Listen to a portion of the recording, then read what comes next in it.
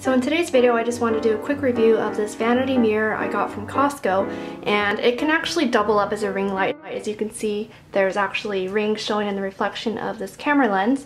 It promises to deliver true to life color and I think it does a decent job at doing that. I know there's a filter right now on the lens but yeah, you can just take my word. And this is the, the one time zoom and the back has the 10 times zoom which I'm not sure why it's inverting the camera lens all weird but it's basically a regular mirror in real life, like the ones you'd see at the hotels. And yeah, there's an on and off button for the light.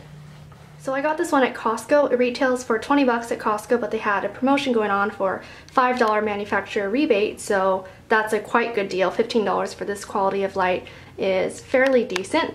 So, and as I mentioned before, it can double as a ring light. So it's definitely a cheaper yet less bright alternative to a ring light so